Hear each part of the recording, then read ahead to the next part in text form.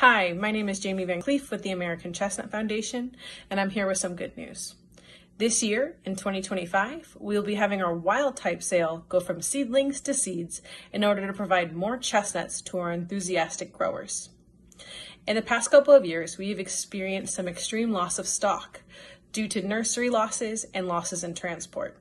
By moving to seeds, we will be able to supply more chestnuts and greater help our members restore the American chestnut.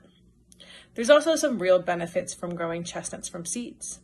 The roots will be deeper and stronger than those grown in nursery pots, and they will be better adapted.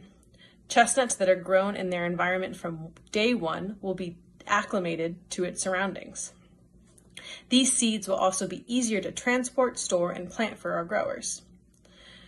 With bare root seedlings, growers had to be very cognizant about preventing the roots from drying out or being exposed to extreme temperatures.